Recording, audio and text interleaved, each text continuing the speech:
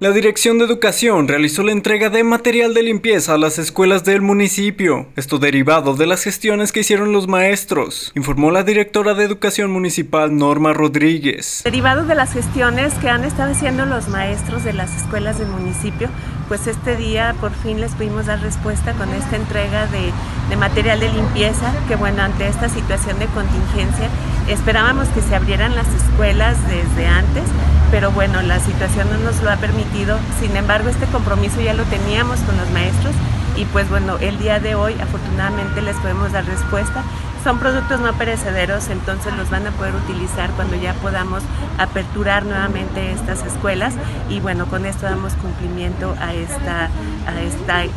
solicitud que nos hacían los maestros de las escuelas para enfrentar esta situación de COVID y poder contribuir con ellos en la higienización de sus, de sus centros educativos.